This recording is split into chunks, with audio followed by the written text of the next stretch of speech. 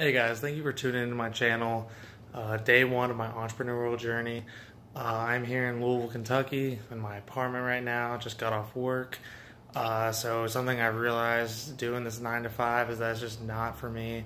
I've always had that entrepreneurial, entrepreneurial spirit, and I just, I, I can't just do a nine to five. I have to, I have to be constantly reaching a goal that I want for myself.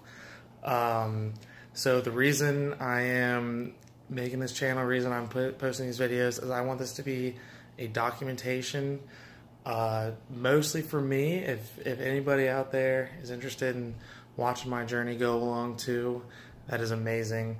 Um, I will post every day, keep myself consistent, keep myself going. I'll try to keep on going forward in this journey of becoming a business owner.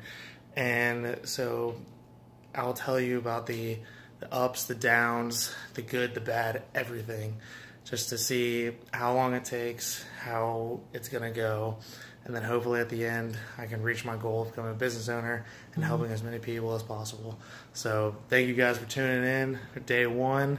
Uh, I will be setting up an online business today, and so I'll keep you updated tomorrow.